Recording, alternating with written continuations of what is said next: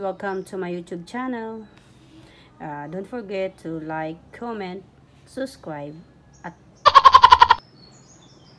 wala na. Right time. Ito yung pinadeliver ngayon namin sa Shopee.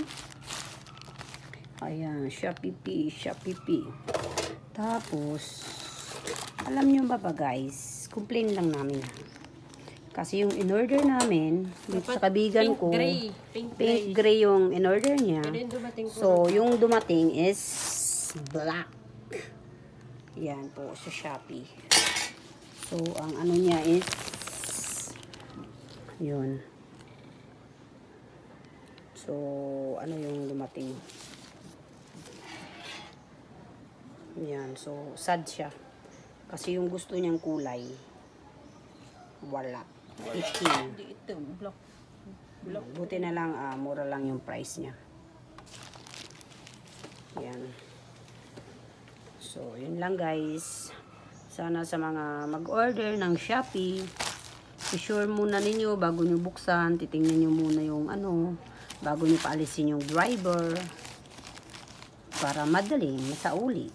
At sila na, um, ano, tapos siya naman nag-text na sa Shopee P, Shopee P. Yan guys, yun lang guys. Ah, thank you sa mga nanood ng mga video ko. Kahit pangit, yun, papasalamat pa rin ako. Kahit konting views lang. Tingnan mo, oh, gray pink. Hello guys, dugtong ko lang to sa ano ko kanina. So, yun pala, chinek ko ngayon. So, may basag siya. So, ito yung basag niya. oh, Yan. Yan, basag talaga siya.